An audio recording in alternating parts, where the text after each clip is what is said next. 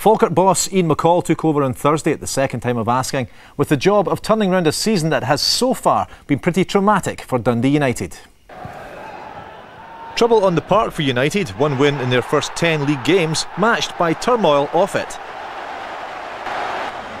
Eddie Thompson won his long running battle to take over at Tannadice. And the first casualty of the new regime, manager Alex Smith. Paul Hegarty became boss. He wasn't first or even second choice, but he was contracted until the end of the season.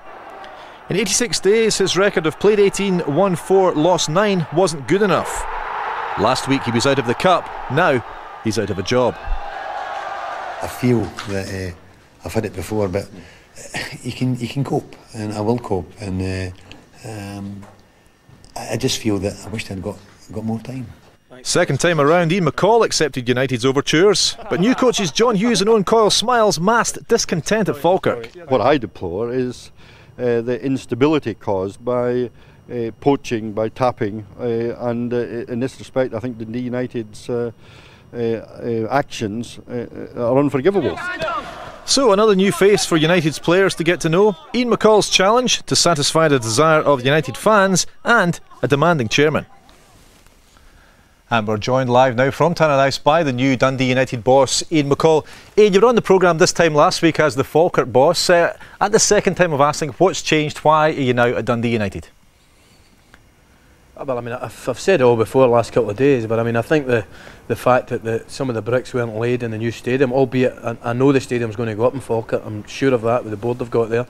Uh, I don't think we would have been allowed, and you know, you can't guarantee to win the first division two years in a row. I think Falkirk will win the first division this year, the best team in the league, in my opinion, by far. But if we don't win it, if Falkirk don't win it the second year, then it's another year in the first division. And I felt for once, you know, everybody's been banging on about loyalty. I, I, you know, I've been loyal unbelievably in six years to people, and I felt for once I had to make a decision for myself and my family. Now, the last three games at Falkirk, you, you won 4 0, 5 1, and 4 0. You're in the fourth round of the Scottish Cup. You're leading the, the, the First Division. I shouldn't say you, uh, they are leading the First Division.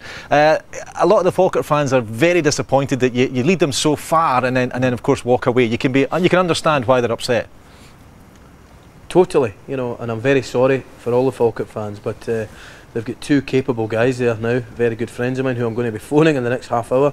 Uh, they've got a great chairman, a great set of fans, and when they get the new stadium, they'll be in the SPL, and uh, no doubt we'll be playing them. I don't know what type of reception they'll get, but you know I can only say I'm sorry and hope they understand. When I went, the club had been relegated. They're now in a good position, and at times, for the first time in my managerial career, I have to think of myself.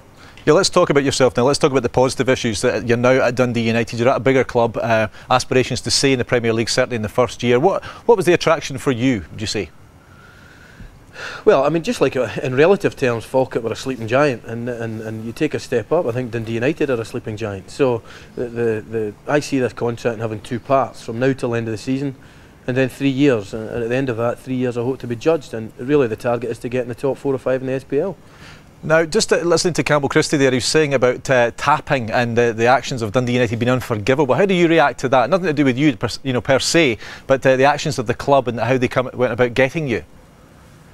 I don't really want to get involved in that. Campbell's a very close friend of mine. He's a remarkable man, uh, you know. But I see a, I see a hunger in my own chairman now, you know, and, and I've moved on.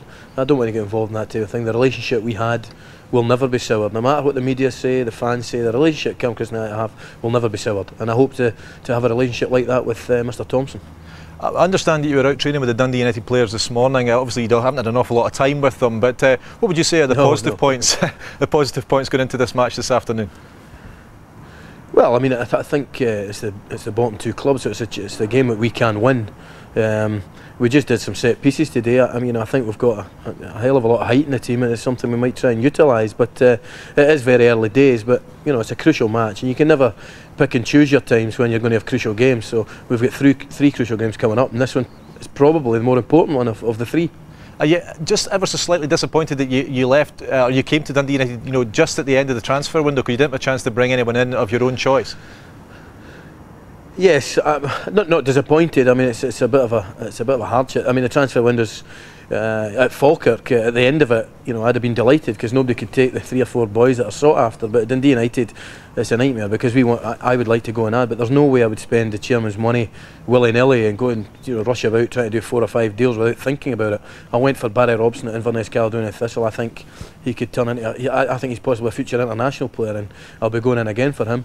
There's two, three players at Falkirk, but you know, right at this time, I would never, out of respect for Falkirk, have went back for those players. Uh-huh. Now you, you've you've got a great situation potentially with Dundee United because you're in the semi-final of a cup this week uh, after you after you get uh, ahead of the uh, the Motherwell game today. Um, potentially you could be in the final if you if you get rid of Celtic. It won't be difficult, will it? Uh, no, it will be difficult. I don't have any doubt about that. But I mean, you're right. Potentially, we're in the semi-final. We can get to final. There's no doubt about that. Uh, Celtic overwhelming favourites. I mean, everybody's taught of left Falkirk, and, and, I'm pretty sure they're going to go to the quarter-finals of the, the, Scottish Cup. No disrespect to Alloa, but here I'm in a semi-final, and uh, with a chance of going to the final, we're up against a formidable team. But uh, you know, if we can get up and at them a little bit, then we've got a chance. Just a final question, Ian. You've got 13 games to turn that around. Just say, hypothetically, you're not able to do that and Dundee United do finish bottom and Owen Coyle and John Hughes do the job as you think they, they will do at Falkirk, you know, carrying on your great work. Uh, they win the first division. What would your thought be about promotion and relegation then? Well, I'm not. I wouldn't answer that. That failure here is not an, not an option. Uh, the other part of it, uh, when Falkirk win the league, I'll be celebrating with John and Yogi. Yeah. Uh, you know, failure's not an option at Dundee United. It won't happen. Okay. Uh, thanks very much, Ian, for joining us live from Tannadice. Okay, Thank you. cheers. Thanks. Cheers. Mate. John, just uh, Gordon, can bring you in here and talk about uh, this this so-called tapping that Campbell Christie called it. It's, Raymond Sparks is, is uh, Ian McCall's agent. He's your partner. Uh, how do you understand how it all happened? Yeah, I mean, I feel sorry for Falkirk because it really is uh, terrible for them. I can understand how Campbell Christie is reacting to what's happened because uh, you know his club have, have going great at the start of this year and they've just won against Hearts, a fantastic result and a good draw in the cup. Uh-huh. So I can understand exactly how he feels. But the, the whole thing's been precipitated by Eddie Thompson Uh-huh. Uh, we were working along, well, Raymond was working along with uh, Eddie Thompson uh, in order to aid Paul Hegarty in getting players in during this window. And in the course of that, uh, understanding a conversation uh, on, uh, I think it was on, on the Sunday, regarding uh, Eddie Thompson just made his mind up. He wanted to have another go about getting Ian McCall in as manager. And uh, I found out about it on Tuesday morning um, that the whole thing was underway mm-hmm. and there was going to be a meeting on the Wednesday. So the whole factor's been uh, put in place by Eddie Thompson's desire to get Ian McCall. But he made no secret of that right away when, uh, when Alex Smith left. He wanted Ian McCall from the very beginning he stuck past that he's obviously not been happy how the, the game's gone against Hibs in the Cup uh-huh. and decided to, to, to go right away. And so it's tapping to an extent, but I mean, if Raymond Sparks gets approached by Eddie Thompson yeah. to ask Ian McCall, uh, he, has got to make that, ask that question if yeah. Ian McCall's willing to do it. Now, I, I, personally didn't think it would happen because I thought that Ian had already made it, sure, clear. Made it clear. He was yeah. happy to stay where he was, but things have moved on for Ian. He's changed his opinion on it. Yeah. I think the circumstances have changed, and Ian McCall was the one that decided that he was going to make the move. Yeah. So people will be hurt. Paul Hegarty's been hurting it, and other people, uh, Falk have been hurt. But it's it's a natural process of the job market. Yeah, Somebody things. wants you. And you ask the question, yeah. Raymond Sparks asks the question, and Ian McCall decides to go. A victim of his own success, Ian McCall. Absolutely. Absolutely. Now